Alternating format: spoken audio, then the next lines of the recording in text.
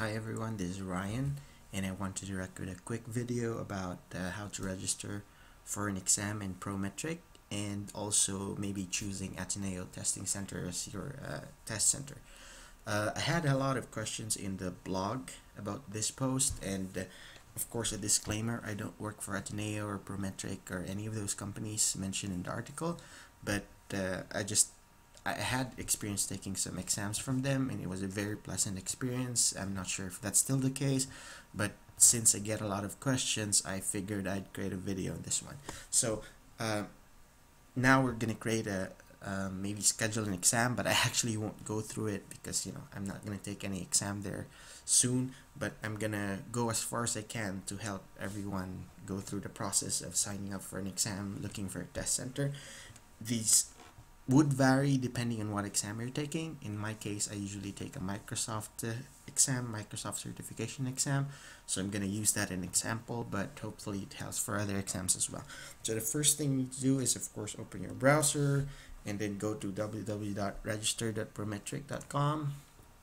It would take you to this page as of this you know recording you choose your country, in which case it's our beloved Philippines. The state and province is not applicable. Just click on next. All right. In this case, in this page, you'll be able to schedule an exam and do a few other things. You can just go through them.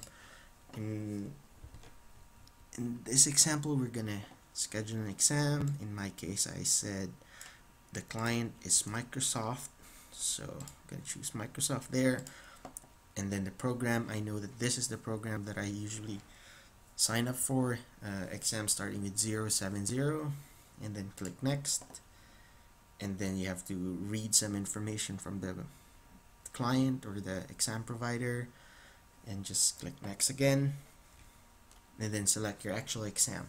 So remember that this list would vary depending on what exam you're trying to take and what the vendor is or who the exam provider is but the idea is you just select your exam over here. I'm just gonna select a random exam. Um, this one choose your language and be very careful about the language because if you get it wrong you know you'd, you'd have problems along the way. Currencies I think it's usually in dollars so it's $80 in this case. Once you've done that click next. And then it would give you a list of all testing centers in the area in this case it says 10 sites in the Philippines are available for this specific exam or provider. So this is the site that I was talking about in the blog. And in this case you can either schedule an appointment or check their seat availability. In this case we're gonna do schedule appointment. Click on that and you'll be prompted to log in or create an account. I will not go through creating an account. Uh, I'm sure you'll be able to figure that one out. But in this case, I'm going to just log in to my account click login and then it would give you this page. It says like the selected appointment duration. This is the time allotted for the exam. It's 3 hours and 15 minutes. And these are the available dates. In this case the only available dates is 23 24 25 and 30 so you just have to pick whatever works for you. And hypothetically I'm going to choose 30 and then select your time.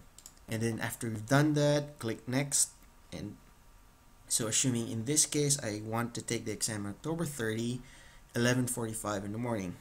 And then I'm gonna click next. And uh, it will ask me some information about my company. You can just say you know I think you can skip these. Let's just say test company and say this would again be different depending on the exam. I think this is like Microsoft specific, many companies are part of the partner network and must prove they employ blah blah blah. So just say you know, test address, city, say Makati, and then Metro Manila. Couldn't find Metro Manila. Hmm, that's interesting there is no state or province. I'm pretty sure they have it. Find it. Hmm that's interesting. Apparently not. So I'll just keep it the way it is. Like state or province and zip code 11111 primary phone you have to give it. And then at this point I think it's going to it's working and I think this point is going to ask you to like you know either pay for it or do something else. Let's see. Okay so it would ask you to pay for it like enter promo voucher and some other information credit card information. I'm not sure if you can actually pay on site but you know in my previous experience I usually use a credit card and that's pretty much it. And then if you click on this one you've registered successfully. You appear go to the testing center on this date you've selected and then you're good to go. I mean of course be there early uh, if it's for first time. I hope this helps. Have a good day good night everyone